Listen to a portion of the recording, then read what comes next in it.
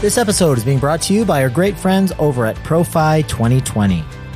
Profi is a full service dental CPA firm that provides bookkeeping services, monthly financial reports, managerial accounting services, and proactive tax service to growth oriented dentists around the country. Profi was born in a dental practice out of their owner's frustrations with the dental accounting industry. Chris Sands actually managed a dental practice early in his career, learning the business from the ground up. During that time, he found that it was nearly impossible to get thorough financial reporting for the practice and even more difficult to get any kind of proactive guidance. That's when he and his business partner, CPA Brent Sonnier, decided to fix it for themselves. Profi 2020 is proactive in a notoriously reactive industry. Most accounting firms, especially in dentistry, deal only with the past. Profi provides detailed reporting, growth oriented advice, and dental specific strategies to their clients to ensure that they are positioned for healthy long term growth. On a personal note, I can definitely endorse Profi as my CPA firm of choice. And the two years that I've been with them have been the best in regards to organization and implementing advanced strategies to decrease my tax liability. If you'd like to get started or learn more, schedule your free financial x-ray and get half off the onboarding cost for being a listener of the Dentalpreneur podcast. Just go to Profi, P-R-O-F-I 2020.com forward slash DSI. That's Profi 2020.com forward slash DSI.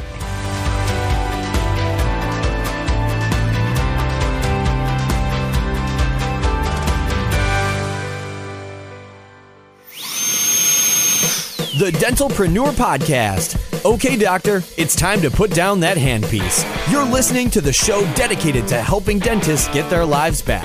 It's time to decrease your stress, increase your profitability, and regain your passion. Now, introducing your host, Dr. Mark Costes.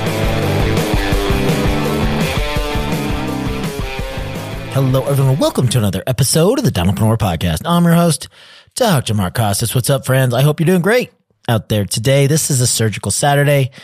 So if you guys want to hear more about surgery, continue listening to my voice. Uh, if you guys are looking for more practice management, leadership, culture, systemization, EBITDA, those sorts of things. Uh, this is not the episode for you, but we are doing um, a surgically based, clinically based episode at least once per week now. Uh, and they are on Saturdays. Whether or not you're listening to this on a Saturday uh, is intended to go out every Saturday. And of course, the people that I typically feature are the founders of the Colorado Surgical Institute, Dr. Dan Brisky and Dr. Taher Dune. This is uh, the two of those great surgeons actually speaking at our most recent mastermind event in St. Louis, Missouri. And uh, they gave a co-presentation on getting to the point where you could be considered a super GP. Now, this is a relatively new term, probably within the last 10 years or so when the skill sets of general practitioners began to evolve and become more sophisticated due to the amount of continuing education that was being offered in the marketplace. Colorado Surgical, I believe, is one of the best uh, domestic surgical training facilities because there's a couple states actually a handful of states. The ones that I know for sure are Arizona and Colorado, where you could get a temporary permit. So if you are a licensed dentist in any of the 50 states, you can get a temporary license in the state of Arizona, Colorado, and a handful of others. Uh, and you can actually put hands on patients. So that allows places like Colorado Surgical Institute to screen patients, to do case planning and to actually have students come and perform certain clinical procedures on those patients with a mentor standing over their shoulder. So I think it's a very, very um, useful law that these couple of states have been able to enact. And it keeps, I believe, um, a higher level of scrutiny and quality control to these procedures that we are teaching um, without having to go overseas. And you can also assure that they're going to get adequate post op care and that anything that needs follow up, say, for instance, a restoration on top of an implant is actually going to get done because they are attached to private practices. Uh, so Dr. Taher Dune and Dr. Dan Brisky, both working out of each of their practices in Colorado, have been able to um, create a very, very interesting and effective training protocol uh, there in Colorado. At this particular event, they were speaking about how to become an effective super GP. They, they speak specifically about the transition from general practitioner to super GP. They talk about the ethical considerations in dental training and practice. They touched on the journey of professional growth in dentistry. They discussed the challenges of complex dental cases and they talked about the need for careful case selection and patient management in Super GP offices. All right, guys, I hope you get a ton of value from this surgical Saturday and my great friends, Dr. Taher Dune and Dr. Dan Brisky. We'll talk to you soon. Have a wonderful day. Bye bye. All right. Next up, my two great friends, uh, co-founders, uh, of the Colorado Surgical Institute. We're going to be talking about transitioning from a general practitioner to a super GP. Um, we have Dr. Dan Brisky and Dr. Taher Dune here, two of the most gifted um, surgeons that I've ever come across.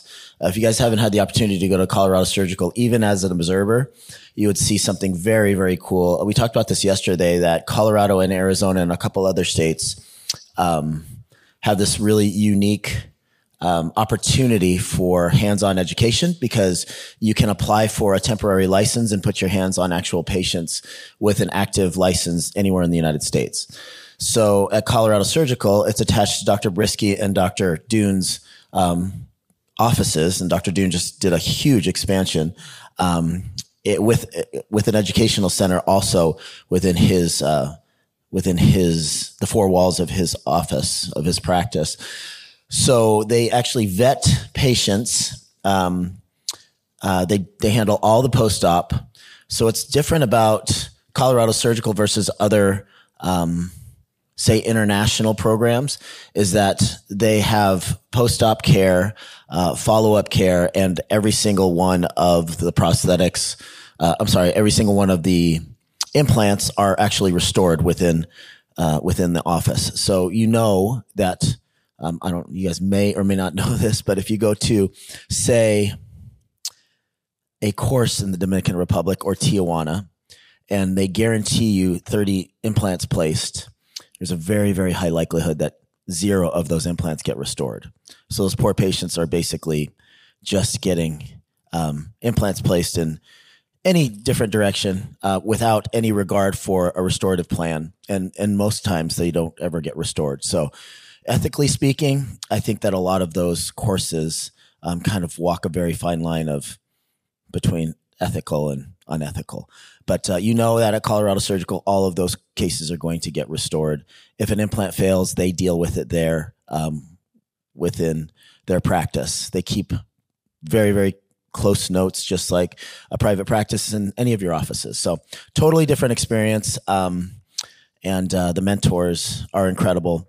These are the two guys that developed the curriculum. We also have IV sedation uh, that has started there now. Dr. Dune's uh, brother, like I said yesterday, is a board certified medical anesthesiologist, and he wrote the IV sedation course.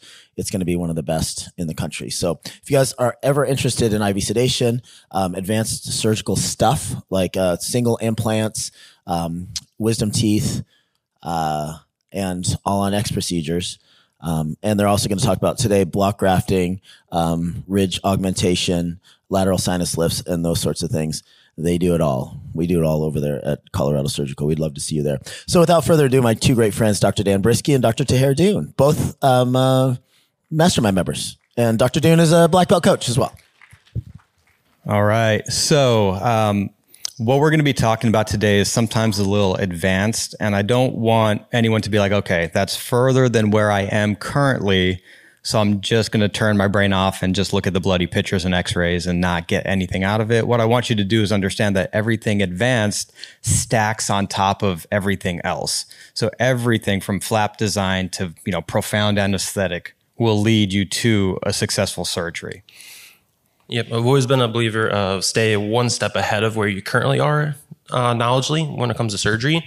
So if you're doing implants, start thinking like full arch, right? Or if you're doing uh, some simple EXTs, learn wisdom teeth. Because when you come back, you're going to be 90% faster, right? Because you just went above where you were.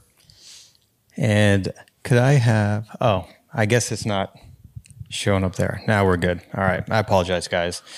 So essentially what we're going to talk about is how we evolved from um, GPs to super GPs. But first, we want to kind of define what a super GP is. And I think it's important to go back and kind of understand like the culture of, you know, depending on when you graduated, what was told to us in school. A lot of the time, we're told you cannot do these things. You're not trained enough to do these things. And then through the evolution of how we do dentistry, a lot of these procedures are happening in GP practices everywhere. I mean, all the way up into like zygomatic implants and transnasals and transsinus.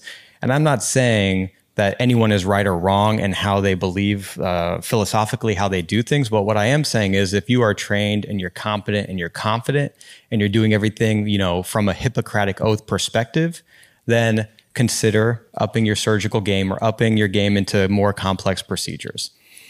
So old school, like the guy I bought my practice from, he started practicing, he wasn't even wearing gloves, you know, and, and things do evolve over time. We have to understand that like the, the culture and the philosophy and the stories that we tell ourselves are the number one limiting beliefs. Every time we run a course in the beginning, we ask all our attendees, like, what is holding you back? Why did you sign up for this course? What are you trying to get out of this course? And a lot of the times it's they're just trying to get the confidence to make sure they do the procedure properly, but then at the same time that they do no harm. And that's what holds them back is they they don't want to do wrong by their patients. And that's a good and a very ethical place to start from.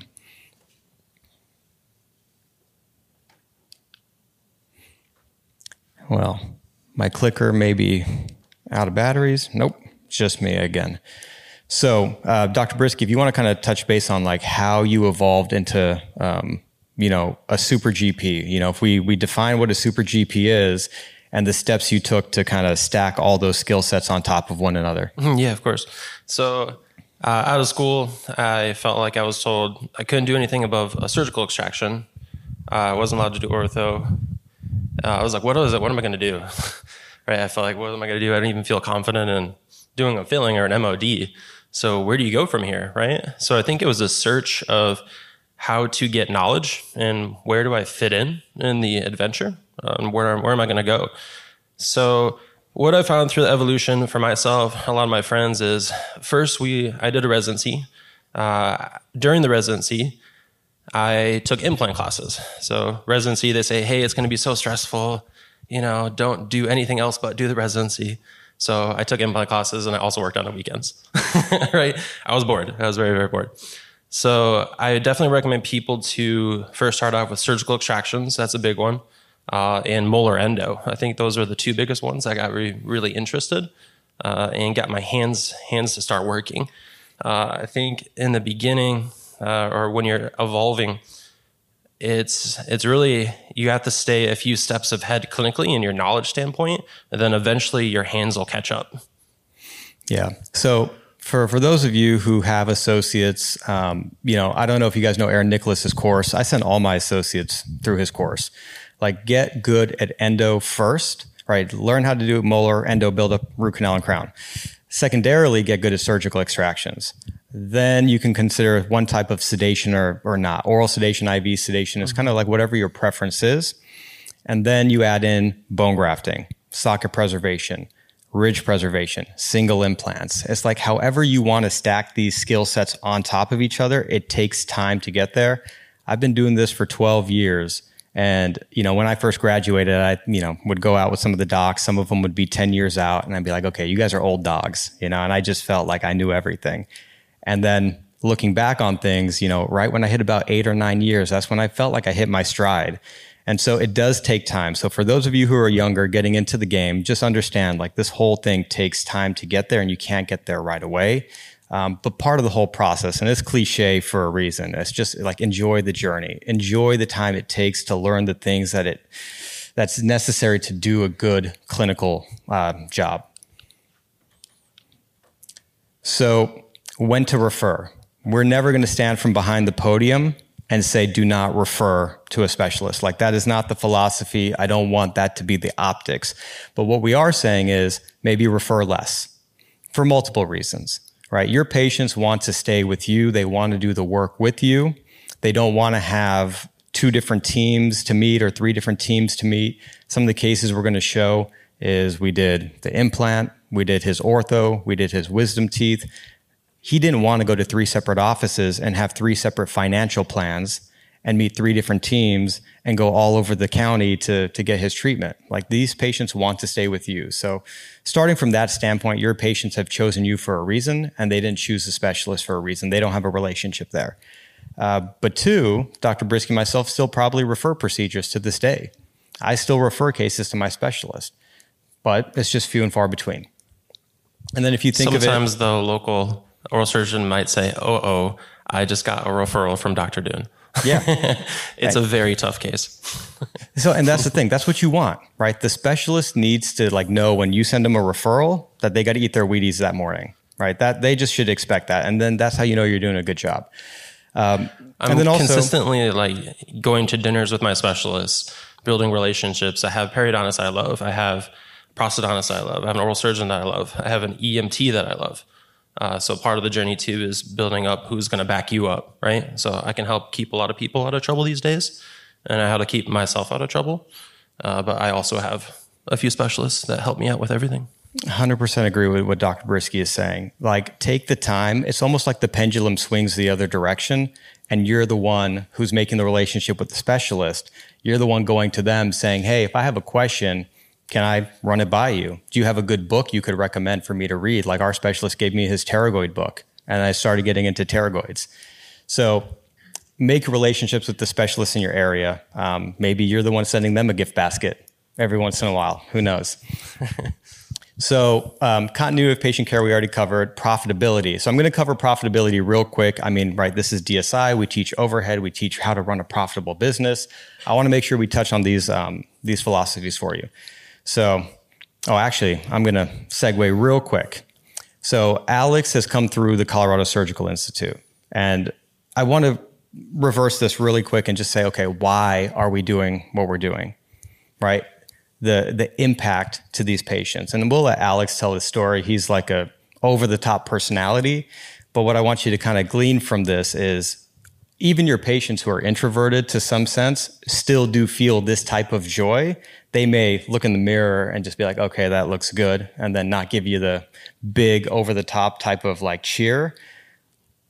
But I guarantee you the impact that what you've done for them to their loved ones, to their children, to their parents, to their spouses is very impactful. Keeping these procedures in house and having that impact on your patients is impactful for your team. It will change the way that you feel about the work you do. Uh, and I can speak for myself in that regard, at least. Like that has changed my outlook on things. The connections with the patients has profoundly changed the way I look at the profession that I chose to do. Because sometimes it's a thankless job. Sometimes it's overwhelming. Sometimes you feel like you're on the hamster wheel, just clocking in and doing the same thing over and over again, like it's Groundhog's Day. But when I do procedures like this, it does break up the monotony of the job. It does make it more interesting. It does make it more fulfilling for myself. And maybe I won't have Alex's story for you, so I apologize. So, I promise this is a good one. So, to segue into um, the profitability of this in your practice, and then um, and then we'll tie, tie into clinical, and I'll have Dr. Brisky kind of run through all of the clinical procedures for you. If you were to just think about starting five orthodontic cases a month, right? It's $6,000 per ortho case. That comes out to $360,000 of revenue per year. So, very simply, like five starts per month. These cases are in your practice. They're there. You just need to talk about orthodontics in your practice. Now, granted, some of you who understand like, you know, annuities and all of that really well are going to say, well, you're not going to get paid your, your 6,000 bucks right up front. That's true. You know, you're going to build this thing over time. Your ortho patients are going to be paying you a monthly over time. With sleep apnea, it's kind of the same thing. 3,500 bucks a case. You're helping people breathe better. You're giving them back a vitality that they need. You're helping them um, have energy and lift the fog that's present every single morning for them. So with sleep apnea, you can add an extra 210,000 per year. With wisdom teeth, if you do five wisdom tooth cases a month, there's an extra $120,000 of revenue, not profit, but revenue per year. Implants 120, and then full arch at $25,000 a case, an extra $300,000 of revenue per year. So just by adding these procedures to the mix, without adding an extra marketing budget, you can add a significant amount of revenue to your practice. And this is why we want you guys to at least consider the options of specialty procedures into your business, because at the end of the day, there is a lot of procedures and referrals and revenue leaving your practice. All right. So, what we're going to do is we're going to run through some cases. And if you guys have any questions specifically, just write them down when we get to the end of the case. We'll definitely answer any questions you have specifically about the clinical stuff. But I guarantee you the third slide in is going to probably answer the question maybe that you do have.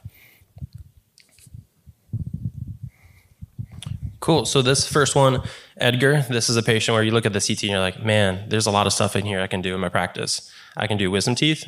I can do ortho. Uh, and you can actually do an implant as well. But the implant on this one is a little bit of a harder one.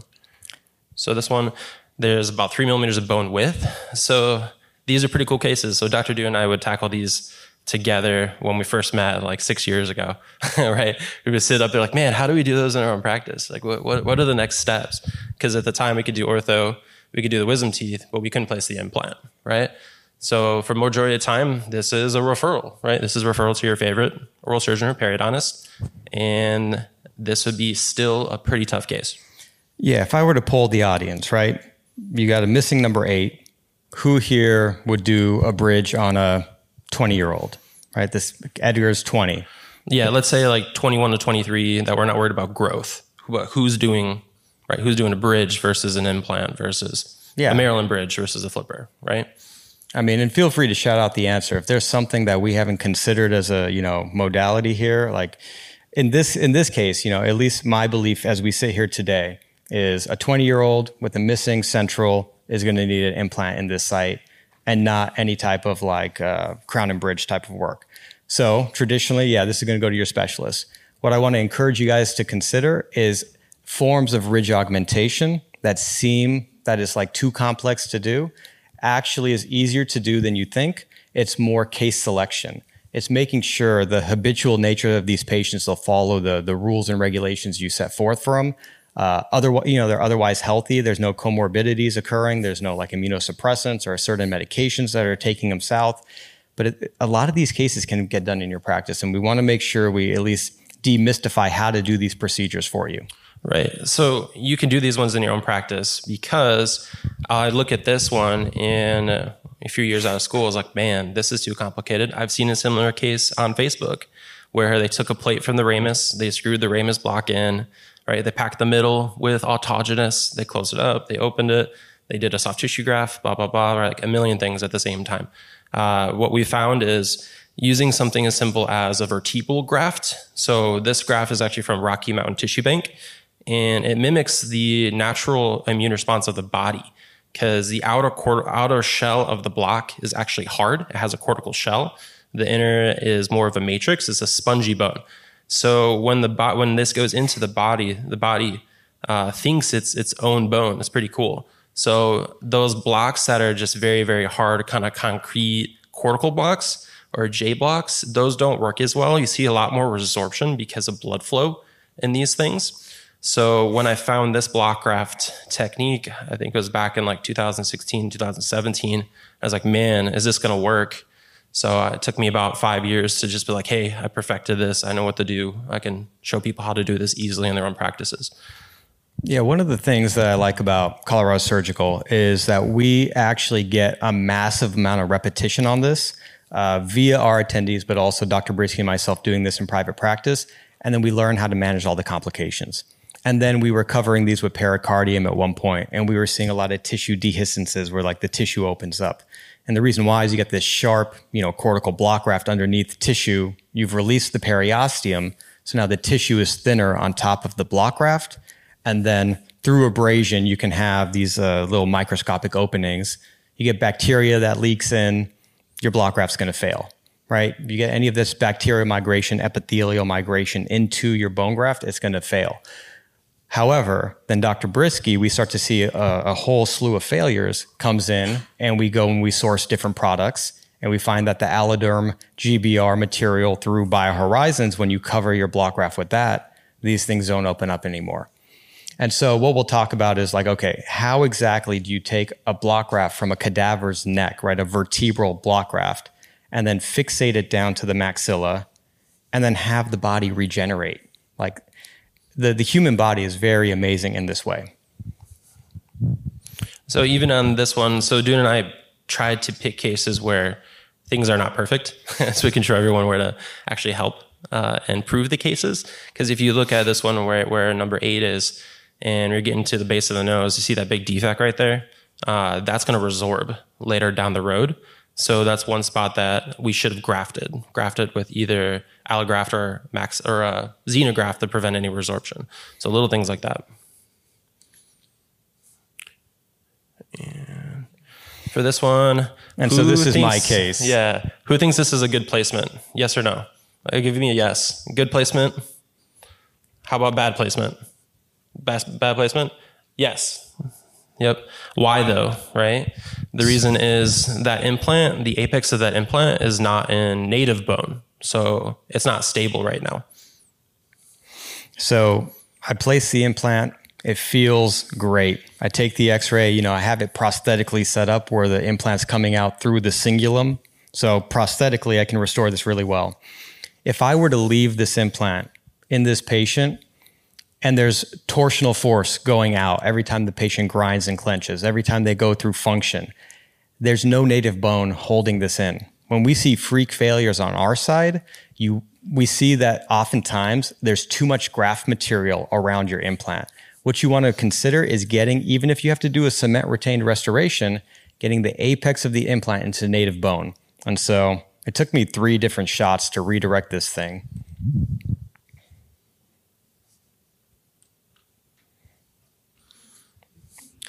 That's my beautiful painting. So that's the right trajectory, right? so he took it out and he corrected it. So anytime we're doing block grafting or implants on the anterior, especially, I actually mid procedure, I'll I'll go and take a CT right before I send them out.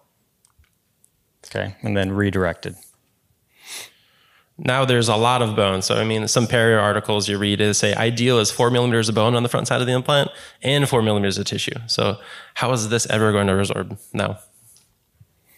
And then you got to think about the end in mind also, right? This kid's 20. People are living longer. He has a huge runway ahead of him. What we do, ideally, we need to set him up for success. Um, sometimes, if the patients are in their 80s, you know, there's a maybe potentially a different approach to take versus someone who's in their 20s. You got to just take all the factors into consideration when approaching these cases. And here's another one. Same tooth, actually, and a little bit less bone on this one. Right? So this one's got like almost three millimeters of bone or less. And there's really nothing apical to it either. So where are you going to put the tip of that implant, right? So tough one. And most of the time we saw, I used to think this was a referral case or a ramus block case, is what I was thinking. And and there's different techniques outside of just a traditional block graft. There's something called the sausage technique. I mean, once I describe it, you're going to understand why they call it that. You take a membrane and you tack down three sides of the membrane. So you have one open area of the membrane and then you harvest some autogenous bone or you, you do PRF and you mix it with your bone graft. And then you just shove bone graft material into the membrane and then you swing that membrane over the top and then you tack it down. So you're basically stuffing the sausage. So you can do that with autogenous bone in these areas and still get very predictable results. You just have to learn how to then harvest a lot of autogenous bone. The harvesting in itself, right? You got to go to different surgical sites. That's why we like the Rocky Mountain Tissue Bank bone blocks so much is because they have high success rates and then you don't have huge harvest sites you need to go to. Yep. So when you place a block graft like this, and this one especially, see how there's that space again? So what happened was long term, this actually resorbed. See that? Now this is one uh, this is one complaint that I see a lot about block grafts. They say it resorbs or edges are too sharp. Uh, the soft tissue pokes through and I lose my graft. Right. So it's either it resorbs or it pokes through and you lose the graft. But there's two ways to prevent it. Now when I did this one, I think this one was like maybe five years ago when I did this one, and I was like, man, there's got to be a better way. What's what's going on? So what I started doing was after when I'm doing my block graft, I'll actually pack like a xenograft over around it. So what you're doing, you're just adding space maintenance, right? Something that's going to stick around for a lot longer, so you don't get the resorption technique. So this one I actually had to go back and you can see where the defect was, right? Looks like real bone though, right?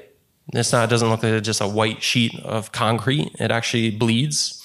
It bleeds. Uh, it's very it looks like autogenous at this point. It really does. So I grafted that defect. And could you go back to that um, previous slide? So one thing I want to point out here, maybe you can go back, who knows? But one thing I want to point out here is there's multiple things in that picture, right? Look at the flap design.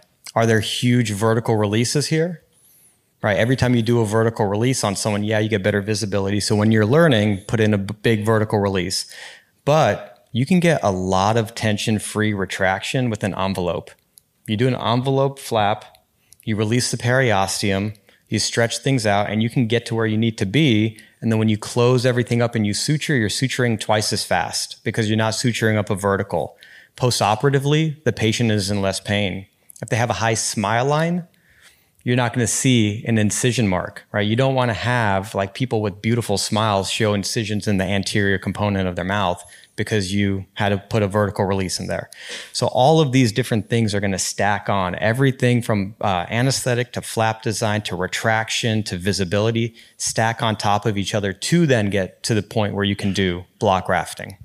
Mm-hmm. So for this one, we actually grafted that defect back. Then I waited another four months. And I was like, whoop, sorry, man that was my bad. right? I didn't know. I didn't know at that time that I should have packed that and I would have got that type of resorption around the block graft. And we got a question from Ben.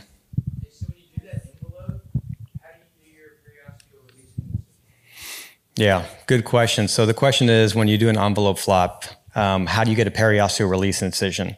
What I like to do is I'll get the Adson forceps and I'll pull the tissue back out and I'll look and see where this kind of transition between the attached tissue and the mobile tissue is.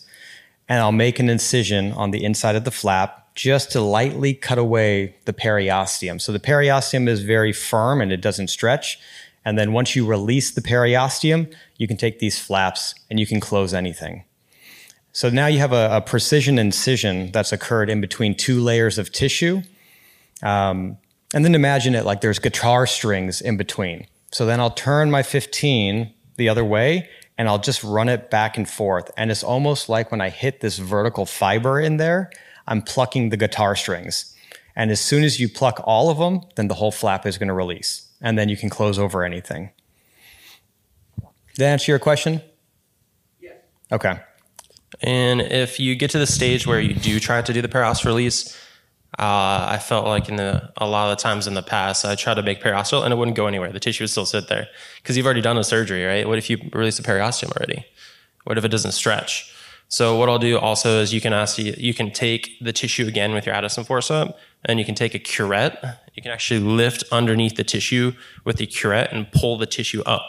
So that'll actually tear it a little bit better. I found that works really well.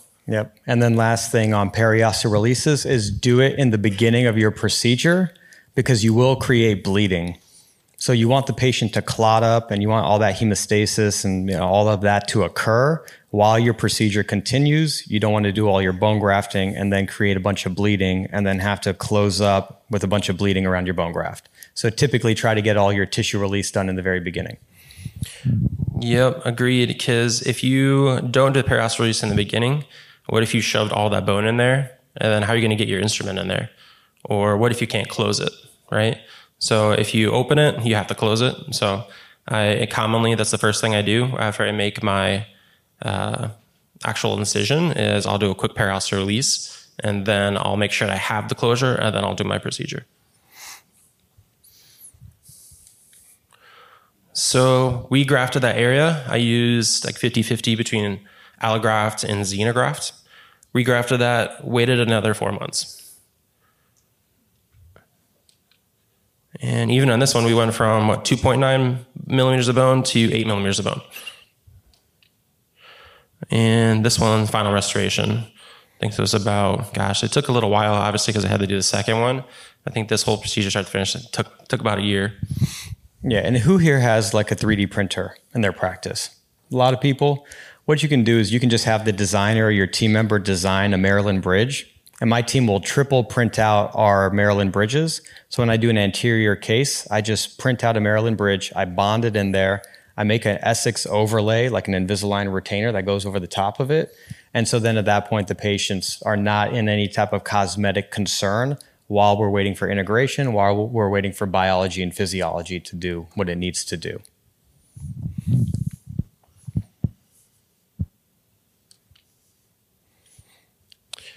So I think this this this next case is combining a lot of techniques. So I think it took me about six years, maybe five, five years of doing everything where I was doing wisdom teeth. And first I started doing extractions and I did root canals and I was doing right wisdom teeth and I did oral sedation. And after my oral sedation, I was like, man, what's next? I'm to start doing some implants. And then after I do, started doing implants, like what's next on top of that? How do I prevent complications? So I figured out how to prevent complications. Then after that, I was figured, man, there are half these cases I can't even do because some of the patients uh, in the beginning, they'll definitely find their I feel like you find the craziest patients to work on, or it's the patients with the most deficient bone, right? So then I learned how to do block grafting, and then I learned how to do vertical sinuses, and then it reached the point where I doing it, I'm like, man, how do we combine all these things into a few of our cases, right? And that's what full arch is. It is. It's basically a combination of lots of different surgeries into one. And a point I want to make that to you know pull on a thread that Dr. Brisky touched base on I don't know why this happens, but in the beginning, when you start to do these procedures, the patients who need them, who have money to do them, are always going to be, not always, will oftentimes be maybe not the patients you want to treat in the beginning. Uh, Dr. Tobin and myself and, and Dr. O'Grady were chatting about some of our horror stories last night. Um, everyone has complications. Everyone has, you know, upset patients. Everyone has patients who aren't necessarily nice people. In the beginning, say no to certain procedures when your gut is telling you not to treat that patient. It will save you a lot of heartache by not having to see that patient come in upset all the time. So case selection in the beginning is really important. Like someone like Brittany, absolutely a joy to be around. So she comes in, and now we're going to do a different type of case. Now, what I'd like to do is show you um, the next slide where it has like the panoramic on it.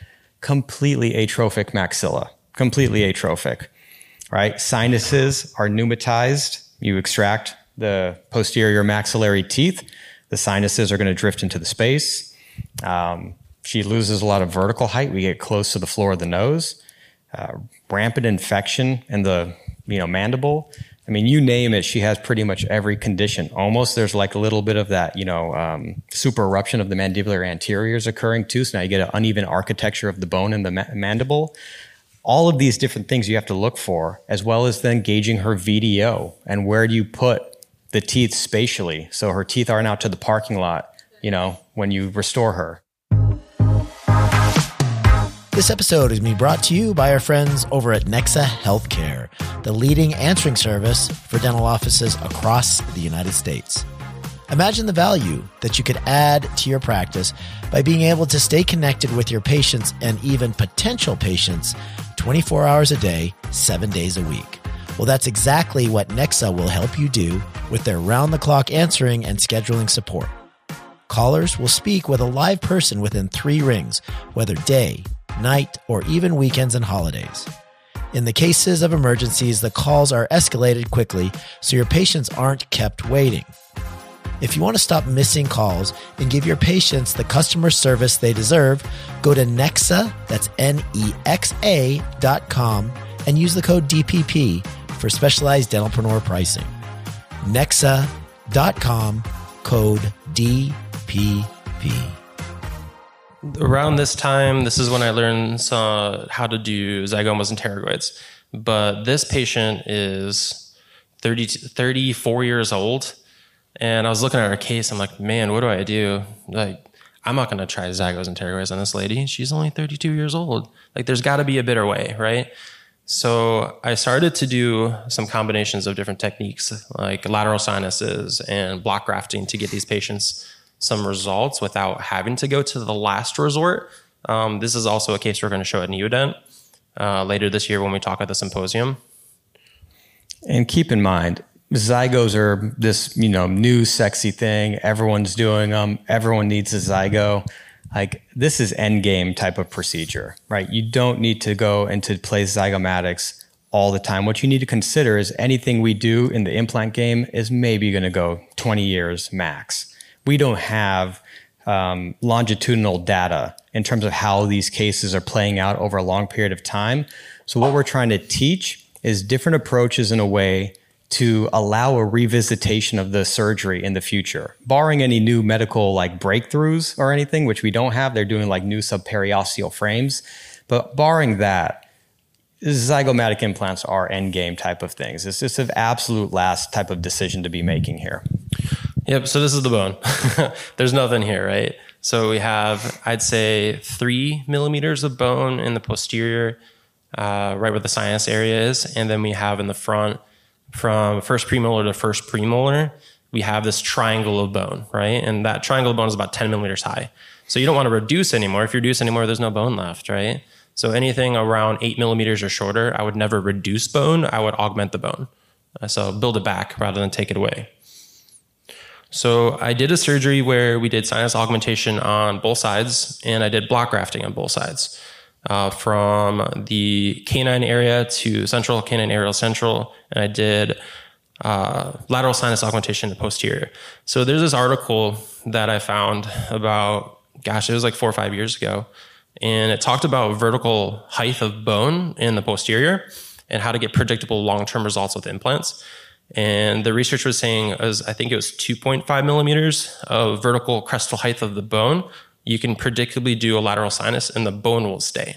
So any what my what my criteria is for this is uh, I'm gonna cho- I chose to do augmentation with traditional implants and all on X because I have enough bone on this one, right? I can do the lateral sinus. I'm gaining height, and I'm not worried about the bone going away. But if I had under two millimeters of bone, I actually would have changed my treatment plan, and this would have been a referral case for me at that time, where I would have referred it out for zygos and pterygoids or tell the patient, hey, denture until you're ready to do zygos or pterygoids. So I've learned some little things over the years how to make it predictable, right? And how to keep these results long term. And it boils down to the same philosophy. Your implant needs native bone to be, you know, integrated with. So then the rest of the graft material. So if you if you do a graft and you place it in a patient, the day you place it, you look under a microscope, it's 100% graft material. And then in five years, it'll be 50% graft material and 50% native. And then 10 years later, it'll be 90% graft or native and 10% graft material. The body is going to dissolve and use that as a scaffold and use the nutrients and all the particulate in there to actually create new uh, bone for the patient, new native bone for the patient. But if it's all graft material, it's a very tall ask for biology to come back and allow you to do that. So just doing a lateral for the sake of doing a lateral doesn't necessarily work. So a couple pictures of the surgery, um, retracted this. So it was actually just an envelope flap. There's nothing releasing incisions here. Um, so I commonly, when I do block grafting, I don't make any releasing incisions. If it's in the front or the back, if it's, uh, yeah, really in any time I'm doing block grafts, I try not to do any releasing incisions, especially in the maxilla. So you don't have any areas or holes where things can leak through. So on this one, I placed uh, a 20 millimeter block graft and two tens.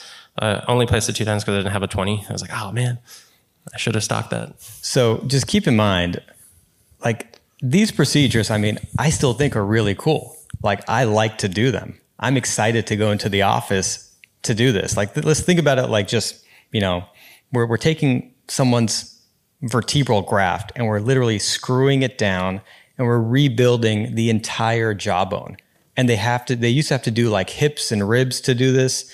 Now we have the access to just do this uh, because we have access to better materials, better techniques. Your team is going to light up. They love it. They're all fighting to get into the operatory to be the one who's assisting on it. Now, typically speaking, um, so it just changes the the energy in your practice. Now it depends on the practice, right? If if you're a cosmetic practice and you like veneers and your team is not a surgically based practice, then that's okay. There's nothing wrong with that.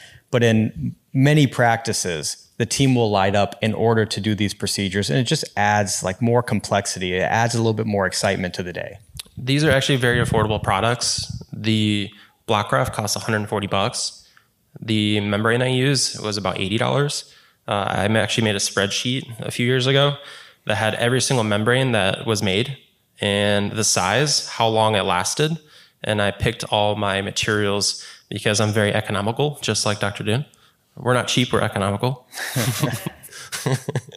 so this is actually a very affordable procedure too. So I probably, I mean, if you look at it, I might have spent probably eight to nine hundred bucks in biomaterials here. Not too crazy.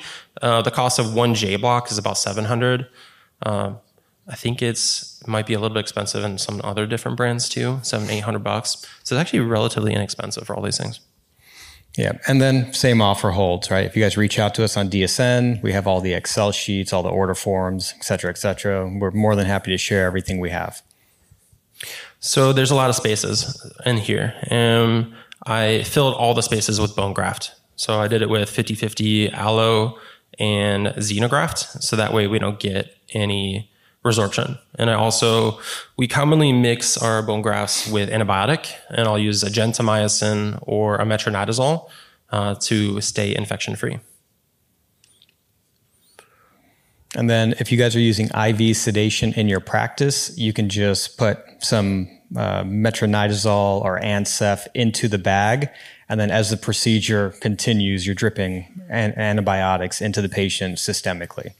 And then also, if you're in the camp of, okay, well, I don't like prescribing antibiotics because of the whole microbiome of the body, right? And it kills just the GI. And there's a lot of new research coming out with that. Well, you're bypassing that. You're going straight intravenously. And so, by definition, we're bypassing the effect on the microbiome in the gut. And so, you're administering antibiotics in, in a way that doesn't disturb the you know homeostasis of the patient.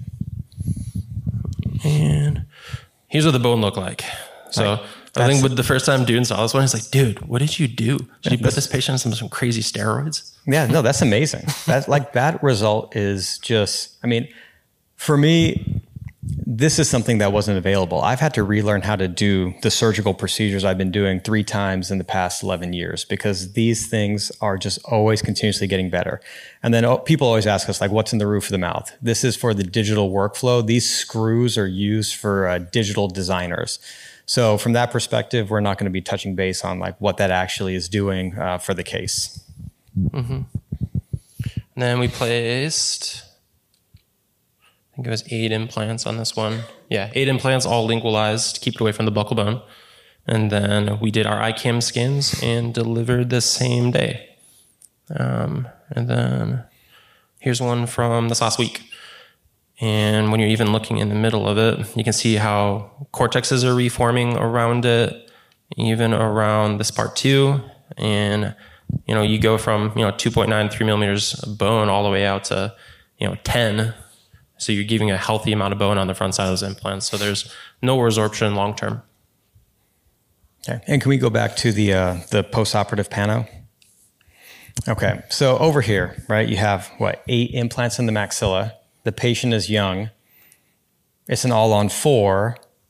God forbid she starts losing implants over the years, you've over engineered things in a way where the teeth just come out, the implant comes out, the bone graft goes in, the same set of teeth goes back in.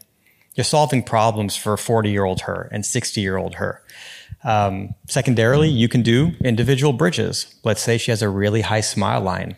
You can just do several three unit bridges here and then just do it that way prosthetically. By rebuilding the maxilla, by rebuilding the mandible, by giving the patient the option for more options in the future, you've created a much better outcome for her into, into like the next 10, 20 years. So, um, and again, we go back to it all starts with anesthetic and flap design and um, bone graft selection and how to suture.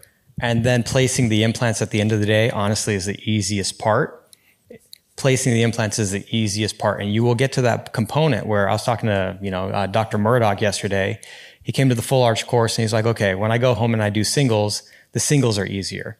It's because you've trained to a level higher than where you currently are. And then when you go back and do something a level less than that, it's just easier. You're more on autopilot. Yep. And implants, these are in native bone, not like the first case we showed you where it was in just graft bone. Yeah. But yeah, before, after. Um, so how many years did it take to get to this one, right? So I think when I started, this one took me almost six years to get to the stage where I actually had enough confidence to do it. So, right, this is an evolution all right, where you're placing implants, and then you're going to learn some sinus lifts. Then you'll uh, maybe do a block graft, right? And you'll feel confident, and then you'll eventually try this. But please, you know, let me and do know when you want to go over some cases. I'd be happy to go over any cases with anyone here. Um, let me help so I can lower the learning curve and let you guys know if you want to do them now or maybe wait a little bit longer uh, or how to get you guys there. Yeah, when you go to a CE course, once you're done with the CE course and you go home and try to implement it, that's not how it traditionally is done. You need mentorship. You need to do uh, follow up calls. You need confirmation that your diagnosis is correct. Oftentimes, with the alumni after the course, they send us x rays and, and pictures of cases that they want to tackle, and sometimes it's the wrong case. So, what we'd want you guys to do is reach out to us, even if you don't ever ever come to Colorado Surgical and you guys are DSI members, we're DSI members, right? DSI has forever impacted the trajectory of my life and my career. We are here to help in any way possible. Send us x-rays, send us pictures, take a video of your CT and scroll through it and narrate over the top of it. And we'll give you guys feedback in terms of like, hey, this is a good case, this is not a good case. Here's how I would approach it. Here's what you need to consider at step number seven where something might go awry. My favorite quote is uh, treat your patient, not yourself. Uh, I love that one. I heard that one by Dr. Alzamari at a Neodent symposium a few years ago. And it just means, and I use it in this epic case, could I have done like Zygos pterygoids, refer the patient out for that? Yes. But I feel like that would have been for myself or for my ego. Uh, what are some other options that will protect the patient? So I feel like I'm always thinking nowadays about the patient, not about like myself.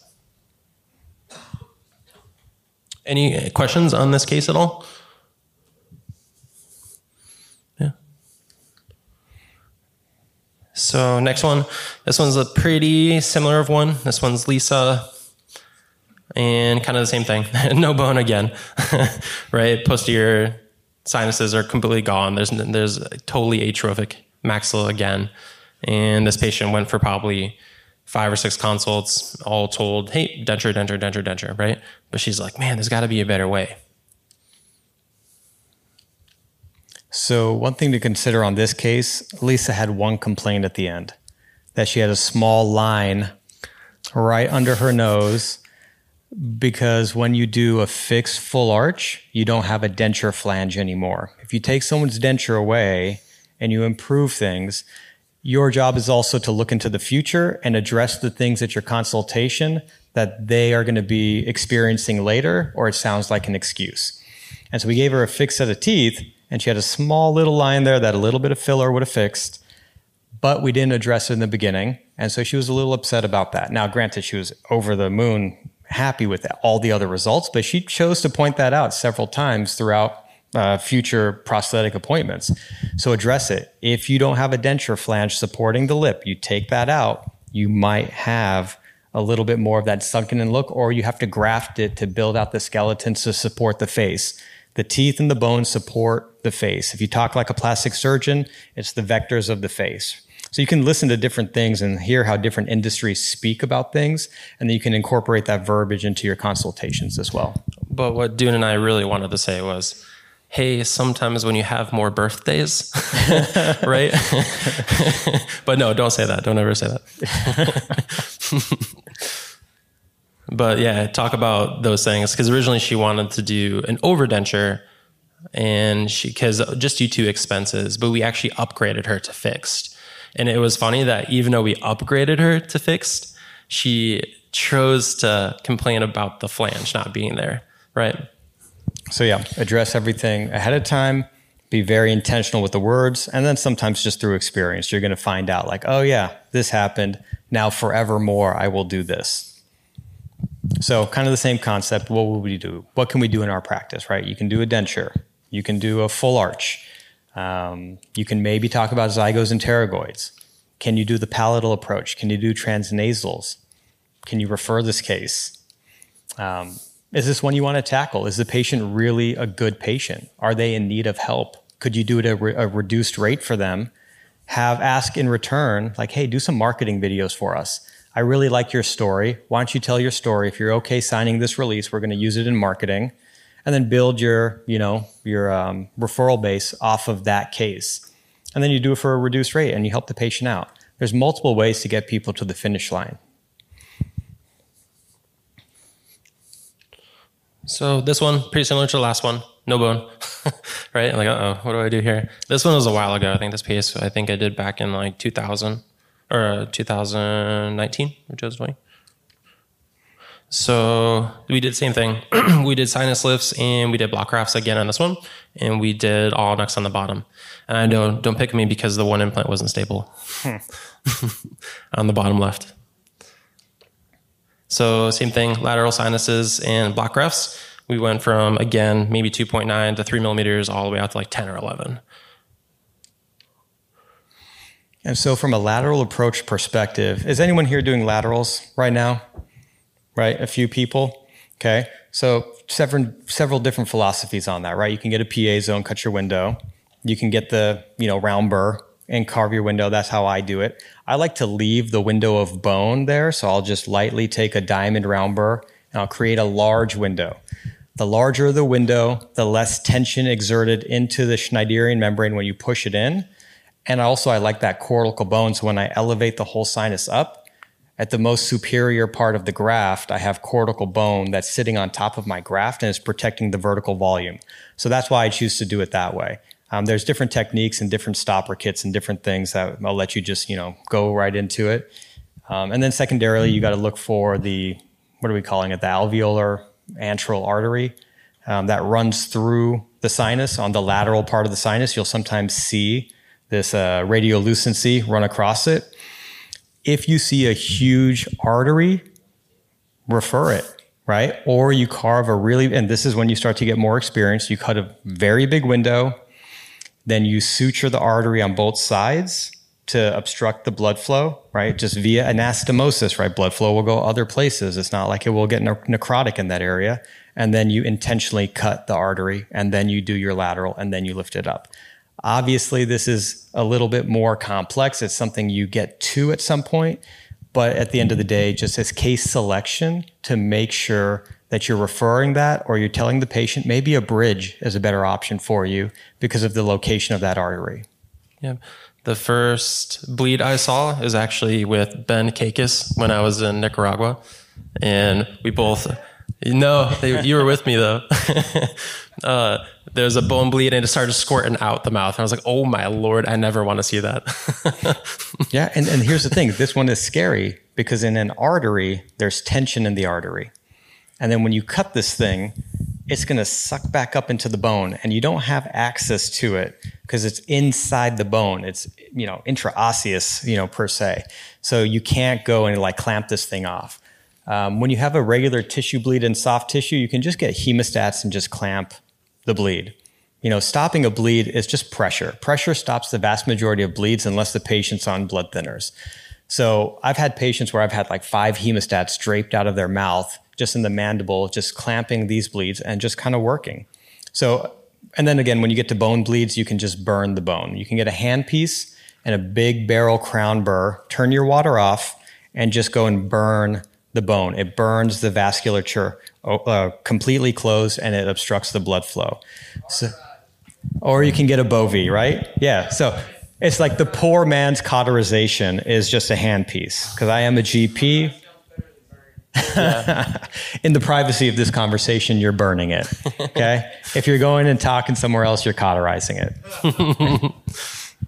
Uh, and this one's about four years post op. Look how the cortical shell reformed. So the body is so happy with this. Literally, the, the, bone, the bone's natural biology reformed around the entire case. The sinuses, cortex reformed, the whole man, a whole maxilla on the anterior portion, all of that buccal bone reformed too.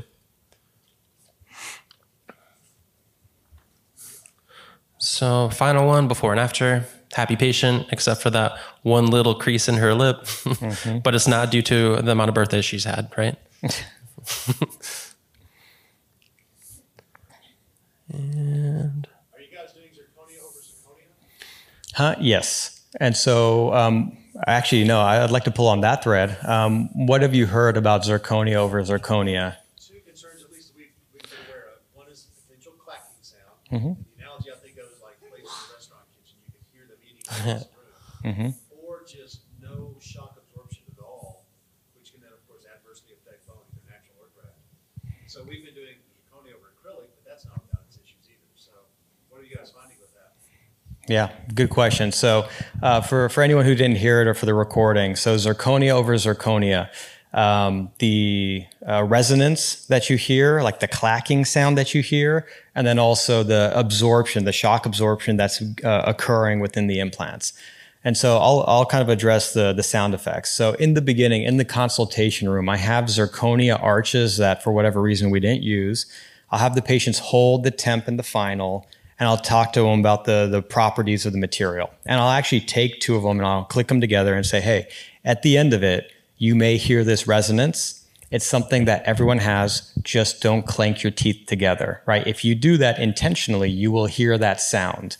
So I address that. Now, if it happens while they're eating or while they're going through phonetic sounds, well, that's a VDO issue.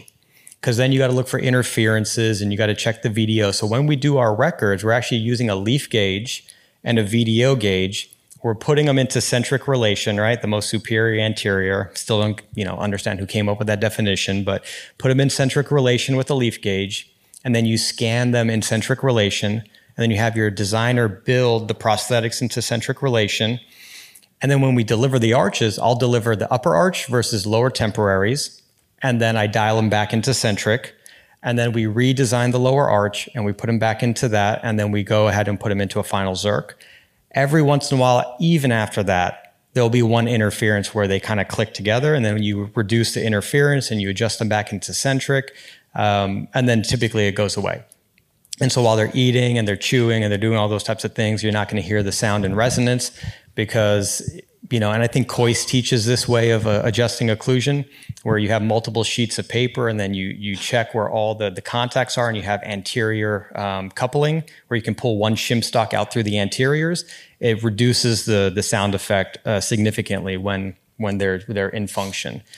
Uh, when it comes to actual actual flexural strength occur or flexural damage, maybe or torsional damage into the zirconia, I haven't experienced anyone breaking zirconia um, it's more of a thickness of the material issue versus um, damage to the zirconia. And then when you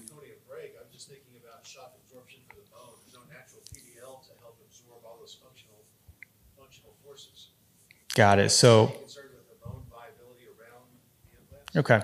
So the shock absorption into the bone and the bone viability because of the forces of the zirconia, you know, and again, you know, I, I don't know where I'm going to end up with this answer. I'm just going to start, kind of walk through it. Um, but more so than not, titanium and, and bone are going to flex at the same rate. Like the flexural rate of both of those materials are around the same. Um, if the patient's in parafunction, well, you've automatically adjusted their occlusion into a centric relation type of position. You've put them in cuspid guidance to like mutually protect all of those things. At night, we are treating sleep apnea as well. So we're doing sleep tests on these patients to see how they're um, if they're desaturating or not. Uh, if you if you um, if you obstruct, typically speaking, you know the lower jaw can push forward. Uh, it can cause bruxism when you're not breathing properly. So now we're mitigating forces through bruxism and parafunctional habits, but also helping people breathe better at night. And we're we're putting in the fee of the sleep appliance into the overall fee for um, the entire surgery and prosthetics. So we're protecting it at night. We're protecting it during the day when they're functioning. I don't think that the necessarily the material vibrating into any material needs a shock absorber um, because the, the absence or presence of the PDL is, I in, in my assumption, is not needed anymore. I think what you need to have is is implants spread in a way where the force distribution is occurring appropriately.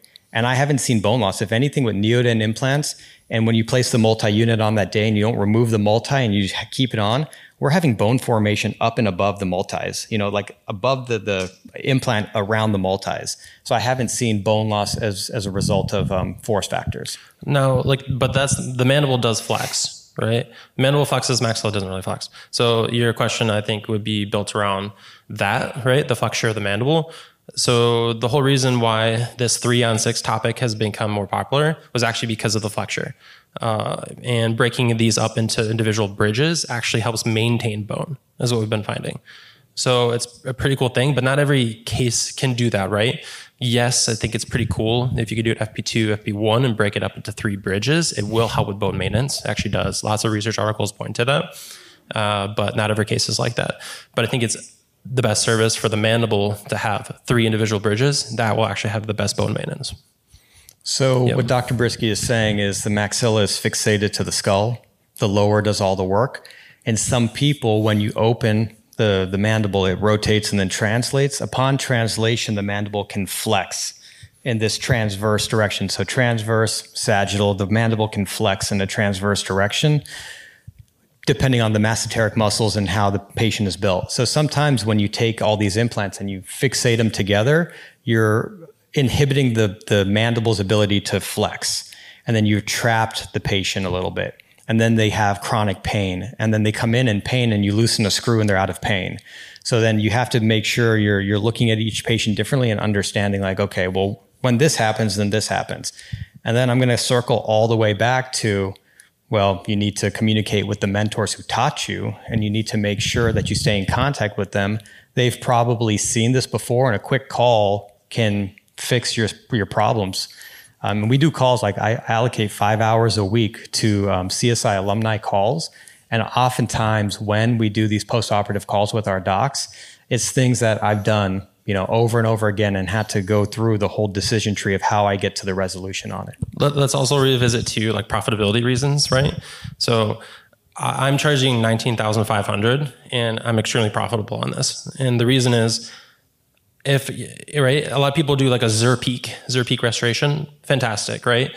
Uh, softer, you don't hear the noise, a little bit more flexure, easy to replace some of the portions, but it's expensive. Lab bill on that thing's about 3,200 bucks to 3,600. Uh, I know David Epstein is a really big advocate for this, but in his area, he can charge 30K in California. I can't charge 30K in Denver. It's just not where the market is. So the market is around 20 to 24,000. So we're like, hmm, let's think about what we're spending money on, right?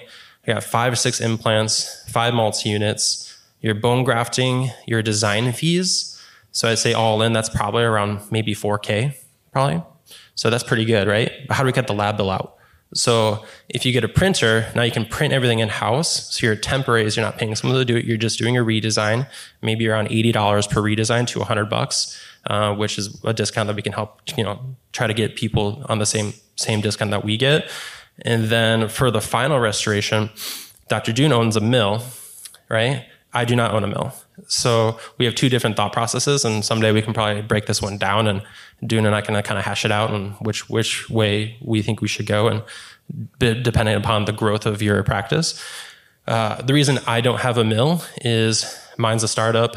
I don't have as much uh, staff to help me with the lab workflow or replacing that lab tech that wants to leave, right? Once you train them up, they like to leave. We all know that. So I actually will outsource the milling to a third party milling center, like an Alien Milling or a Primotac, or there's several others out there. And your all in zirconia cost for direct to zirconia for an all in X is only $1,200. So you're probably all in now, maybe 6,500 bucks, right?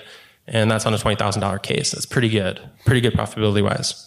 And then just to address the cost, if you mill in house, the cost, of, uh, and once you have your capital expenditure on it and your tax, you know, if you have your, and this is again what Jake touched base on, tax basis in, in line and you buy all the equipment and you reduce your tax implication. And I'm not even going to talk about the benefits there. If you get a mill, it's like 150 bucks for the puck, but then you got to pay payroll for someone to do it and et cetera, et cetera. You can turn these things around in like 48 hours. Um, so when you get to the point where it starts doing all the crown and bridge for your practice and you start doing all the full arch restorations for your practice, then the cost savings is there. But retaining a tech and training them and having them not leverage that knowledge to go to a lab and get more money, that's the hard part. Um, either way, I do think we're coming up on time potentially, or are we doing okay? Yeah? Okay, cool. Um, any other questions though? On it? Yeah, Dr. Gomez.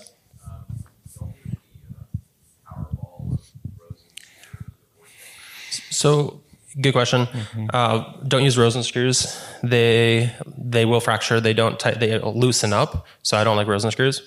Um, Dan Rosen heard me say it on a podcast. Actually, he actually asked me why I'm telling people not to use a screw. So don't tell him, please. uh, I like DESS DESS screws. They're 19.018 or Vortex comes from Danny Deming. Amazing screw too. Uh, Powerball works as well, but it's a fatter screw uh, and it's a little bit harder, harder milling strategy. So I really like DESS screws or vortex screws. I'll use DESS screws and I'll reuse them actually with my temporaries. And then when I go to my final, I switch my screw to vortex screw, and then I mill my finals in vortex. The vortex screw for everyone, it's actually a round bottom uh, to the screw versus a square. The DESS screw is a square.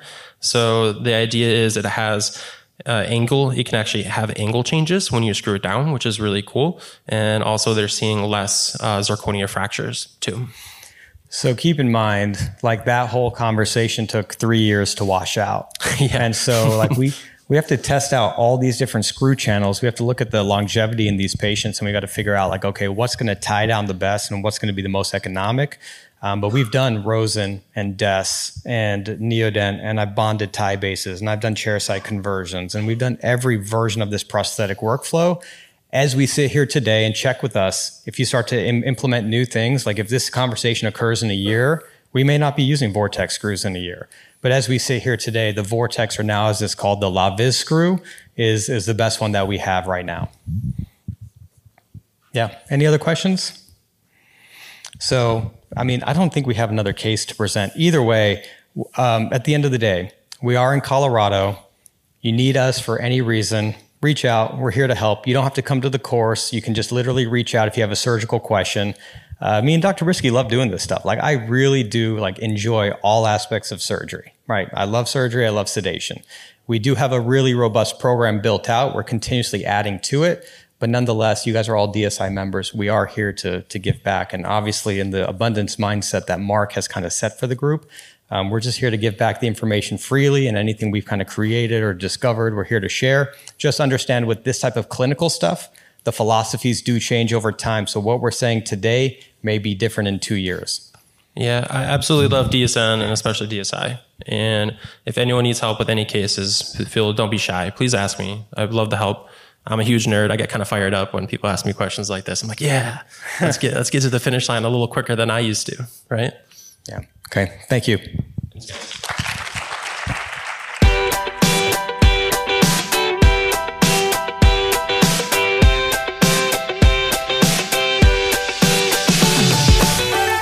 Hey, Doc, are you overwhelmed, sick of being the bottleneck, not sure where to jump in and tackle projects? The idea of having an assistant may seem like a luxury and something you don't need. However, as practicing clinicians, business owners, husbands, wives, moms, and dads, you may be holding yourself, your business, and even your family back by not delegating day to day tasks and maximizing your valuable time. If you guys have heard our podcast and webinars before, you know I hired a personal assistant eight years ago and haven't looked back. I hired Ashley Evans at the time, now Ashley Hirschfeld, and we were able to execute, prioritize, and launch projects and businesses that have led to multiple streams of income and invaluable peace of mind.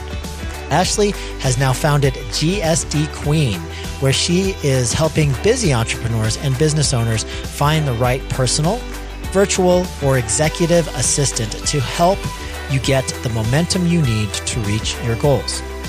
With Ashley's assistant program, you get one on one consultation with her to create your perfect personal or executive assistant avatar and ad, execution of placing ads, review of resumes, skill and personality testing to narrow down to two to three candidates, guidance in maximizing in person reviews. After selection and hire, the assistant will receive four weeks of GSD Queen Bootcamp where they will learn the tips and tricks to being an efficient and forward thinking assistant. Reach out to Ashley directly at 928 910 3599 for more details and more information. If you happen to be a DSN member, reach out to Ashley inside Workplace to get a $250 discount. 928 910 3599. Reach out to Ashley and get ready for a life changing experience. And that wraps it up for another episode of the Dentalpreneur Podcast. Look forward to reconnecting on the next episode. Thank you so much for joining us today on the Dentalpreneur Podcast. Check out TrueDentalSuccess.com for full recaps of every show, a schedule of our live events, free video tutorials, and a whole host of practice building resources.